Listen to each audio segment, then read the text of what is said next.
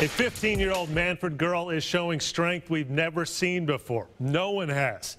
Caitlin Cook broke some serious weightlifting records over the weekend, and Fox 23's Jeff Kolb found out she's just getting started in the sport.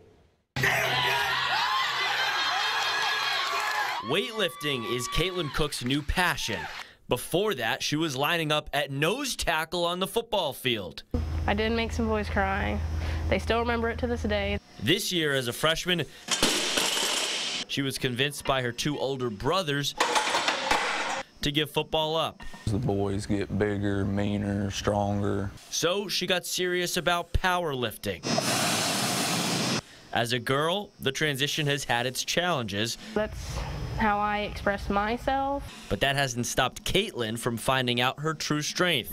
I'm just amazed that I've been able to lift this much. Last weekend in Tulsa, Caitlin did some national record breaking in her age group in the bench press by 51 pounds, in squat by 47 pounds, and in deadlift by 82 pounds. It was unbelievable. I mean, that's a big accomplishment. In July, Caitlin will go to Iowa for the chance to officially break world records. From there, the sky's the limit. Maybe one day be an Olympian, I think that's what they call them. In Mannford, covering news that matters.